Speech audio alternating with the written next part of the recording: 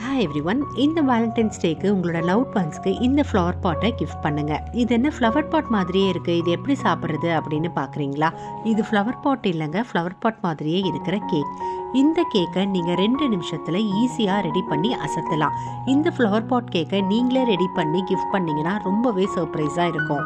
என்னடா பேசிட்டே இருக்கேன்னு பார்க்குறீங்களா இந்த கேக் எப்படி செய்கிறதுன்னு நம்ம சபீஸ் மெனு சேனலில் ஃபுல் வீடியோ இருக்குது கண்டிப்பாக மிஸ் பண்ணாமல் ட்ரை பண்ணி பாருங்கள் லிங்க் நான் டிஸ்கிரிப்ஷனில் கொடுத்துருக்கேன்.